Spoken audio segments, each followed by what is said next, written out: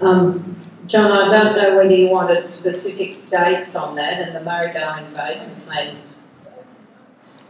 Well, what they say in their document is that we're now in the feasibility stage. We've done pre-feasibility, in case you didn't know it, that's done. We must have missed it. We did, we missed We it.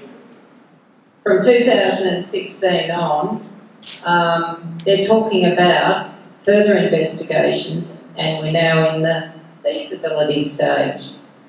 And I think it's either from the end of this year or beginning of next year is when they will contact you, come onto your property and talk about maybe negotiating for easements.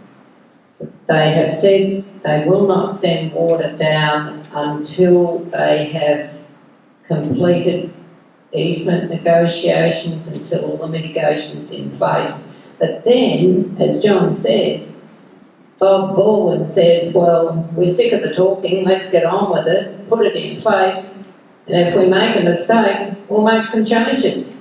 That's virtually what he's saying.